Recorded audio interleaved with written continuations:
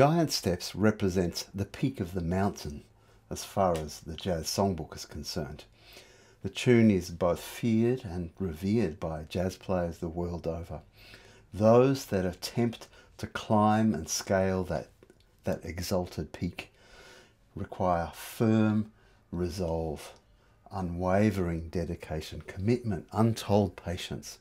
Today, I would like to share with you a way in which we can gain a mastery of giant steps without even trying. I know, I know, that seems far fetched, and you can be forgiven for having some suspicion. My only disclaimer being that the secret you're about to hear may not be the one that you are expecting. I'm not interested in sharing practical tips. Play one, two, three, five down tones or try these common tones. No. Let's face it, if the secret is one you're expecting, it's most likely not a secret. Some time back, I was interested in exploring the combination of intervals that are available within arpeggios. Now, typically, arpeggios are played in intervals of thirds, both ascending and descending.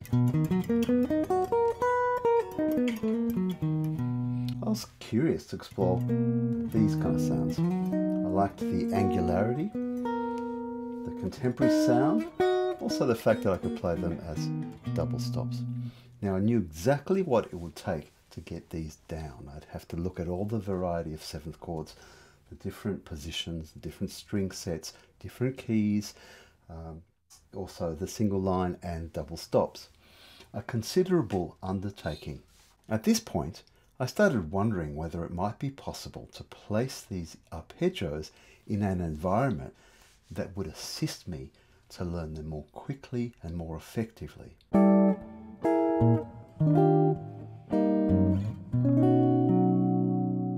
figured that Giant Steps, with its rapid fire key changes, would be the perfect vehicle. With this in mind, I set about applying the arpeggios to the chord progression. In time, I noticed gradual improvement. They started sounding and feeling better.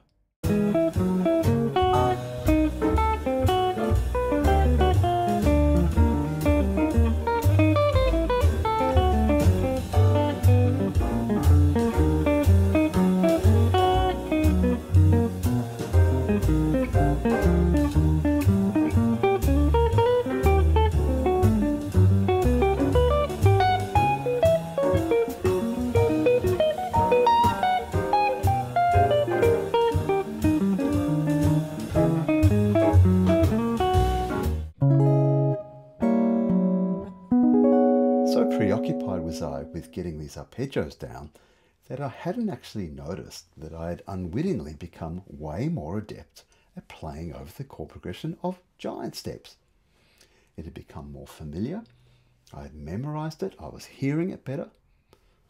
This came as a complete surprise, for in truth I had never held a burning desire to learn the tune.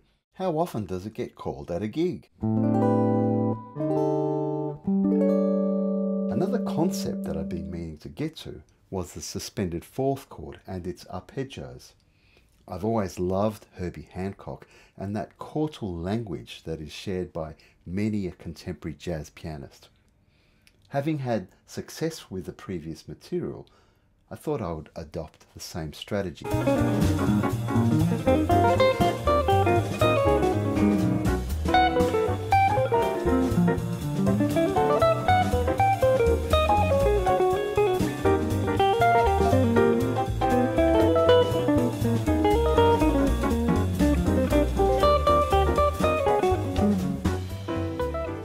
By this stage, I wouldn't be surprised if you've managed to nut out the nature of the secret on your own.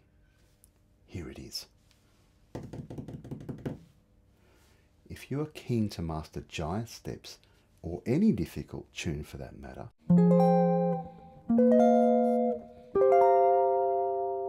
the wonderful paradox here is that in taking care of the concept, the tune looks after itself. Although this idea may appear novel, it was being discussed in certain Taoist circles two and a half thousand years ago. In fact, the Grand Master himself, Lao Tzu, was credited as saying, It is because the sage does not desire to be great that they become great.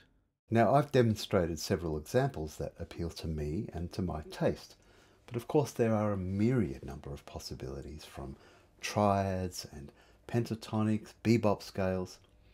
Applying them in this fashion will expedite the learning process and enable us to become more proficient on this challenging tune Interestingly, doing so in a way that's more personalized and meaningful. Thank you so much for listening. I hope that this lesson and secret may serve you well.